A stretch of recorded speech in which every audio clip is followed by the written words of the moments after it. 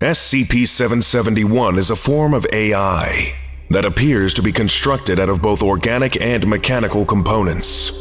The metal components of SCP-771 are of varied origin and composition, with several still unidentified, but many appear to be broken or damaged.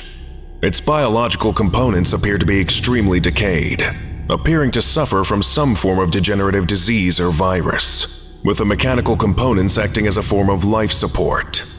When SCP-771 undergoes an error or shuts down, a swarm of small robots is released from a hatch within SCP-771.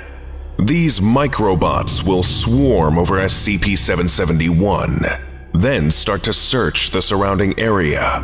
The swarm will break down any and all metal in the area and return it to SCP-771, attempting to patch the damaged areas.